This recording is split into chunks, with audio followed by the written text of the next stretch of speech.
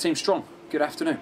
Um, first off, sorry I got a top on. Um, I hate to hate to put that on you, but I'm actually in the garden, um, getting a bit of sunshine while I'm doing doing my emails and that sort of stuff. Um, and as you can probably tell, I do actually need to get a bit of sun on my chest because I look ever so slightly like Casper the Friendly Ghost in a pair of oversized sunnies. Anyway, reason for my uh, video today is I've actually got a bit of a uh, Easter-based confession. Um, now, we all like to indulge a bit over Easter, generally. Um, I'm hoping you're not going to go overboard, to be honest. But I'm like you, to be honest.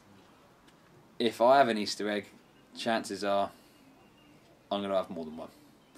Um, and that's exactly what I've done today. I've just got to make sure my bloody girlfriend ain't looking. I don't think she's there, hopefully. Um, yeah, I've actually nailed a whole bloody box of them. That's right, that's the kind of eggs I'm going to be eating this Easter, and that's the kind of eggs I've been eating today, and that's the kind of eggs you guys ought to be eating as well, okay? Bugger off your chocolate eggs. You don't need to be eating that crap. It'll make you feel like crap.